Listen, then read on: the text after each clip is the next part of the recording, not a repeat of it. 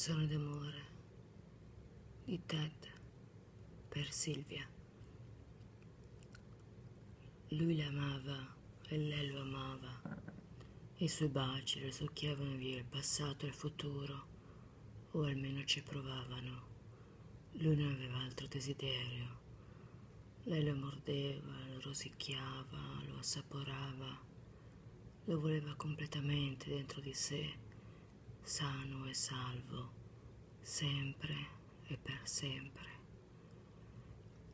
Le loro grida sommesse si perdevano fra le tende, gli occhi di lei volevano che nulla svanisse, gli sguardi di lei le inchiodavano le mani, i polsi, i gomiti. Lui la teneva stretta affinché la vita non la sottraesse a quell'istante.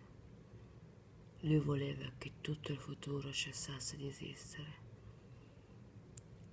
Desiderava cingerla con le sue braccia, dall'orlo di quel momento nel nulla, per l'eternità o qualsiasi altra cosa fosse. L'abbraccio di lei era un'immensa pressa per stamparselo nelle ossa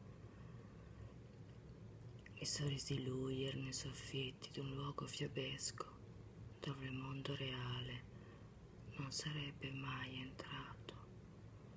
I sorrisi lei erano morsi di ragno per immobilizzarlo finché ne avesse avuto fame. Le parole di lui erano come truppe d'occupazione. Le risate di lei, le movenze di un assassino. Gli sguardi di lui erano stilettati di vendetta, le occhiate di lei spettri che nascondono orrendi segreti. I sussurri di lui erano come fruste stivali, i baci di lei avvocati che scrivono e scrivono. Le carezze di lui erano gli ultimi appigli di un naufrago i giochi amorosi lei come serrature stridenti e le loro alte grida strisciavano sul pavimento come un animale che si trascina dietro una potente trappola. Le promesse di lui erano il bavaglio del chirurgo. Quelli di lei gli aprivano il cranio.